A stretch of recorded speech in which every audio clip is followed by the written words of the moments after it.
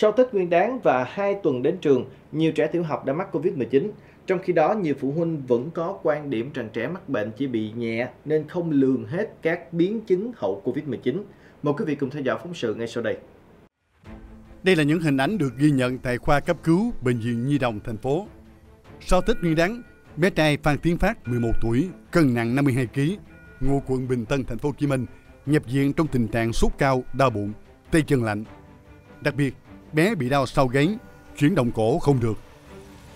Trong cái thời gian mà Covid đó là không có biết là bé bị khi nào luôn á, chung là bé đi chơi vậy đó, là bé bị bệnh, bị sốt nhiều với lại bé bị đau cái cái cần cổ nè. Xong mà đi đi bệnh viện thì bác sĩ mới kêu là chuyển lên đây sợ bé bị à, bị à, ảnh hưởng tới não á. Bệnh nhi được chẩn đoán hội chứng viêm đa hệ thống trẻ em liên quan đến hậu Covid-19.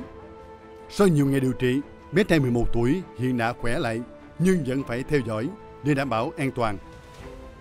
Trước đó một bệnh nhi khác là bé LPD, 8 tuổi, ngụ huyện Bình Chánh, thành phố Hồ Chí Minh, nhập viện trong tình trạng sốt cao, phản ứng viêm mạnh mẽ toàn thân, ảnh hưởng đa cơ quan.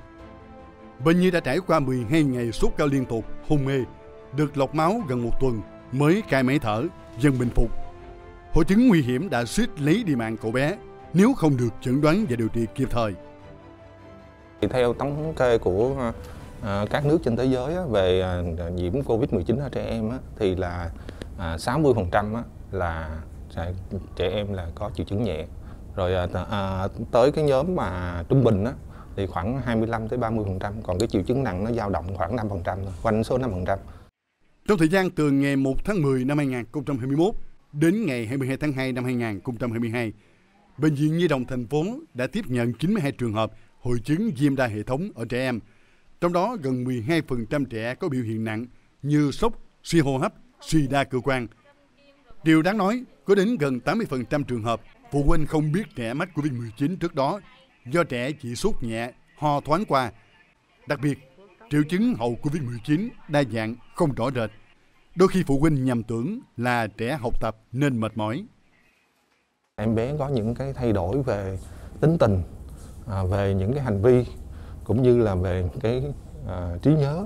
À, các em hay quên hoặc là các em rối loạn giấc ngủ, các em khó ngủ, rồi các em cáo gắt, rồi à, rồi à, ngoài ra thì các em còn có thể bị yếu cơ đi lại thì mang mệt có khi có em bị đau khớp cho nên là phụ huynh cũng lưu ý đối với con em mình à, có thể là các em biểu hiện nhẹ hoặc là không triệu chứng nhưng mà cái hậu về sau cũng có thể có những cái ảnh hưởng đến uh, gọi là sự phát triển của trẻ cũng như là những cái biến chứng cấm tính uh, có thể ảnh hưởng đến cái tính mạng trẻ nữa.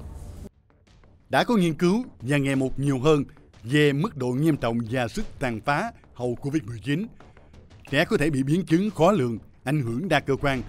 Do đó, phụ huynh cần theo dõi sát sao tình trạng sức khỏe của con em mình, lưu ý đến khả năng hậu Covid-19 và đưa trẻ đi thăm khám điều trị kịp thời nếu phát hiện các dấu hiệu sau.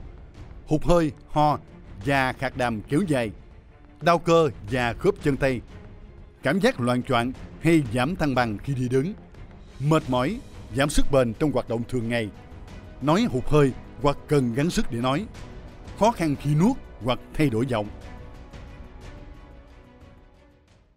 Nhằm đảm bảo an toàn cho trẻ, nhất là trẻ em dưới 12 tuổi chưa được tiêm chủng, Sở Y tế thành phố Hồ Chí Minh yêu cầu các cơ sở khám chữa bệnh trên địa bàn khẩn trương triển khai các hoạt động thu dung điều trị cho trẻ mắc Covid-19. Trong đó, Sở Y tế thành phố Hồ Chí Minh cũng khuyến khích thành lập khoa Covid-19 tại các bệnh viện chuyên khoa nhi hoặc đơn vị chăm sóc trẻ mắc Covid-19 tại khu vực cách ly dành cho người mắc của bệnh viện.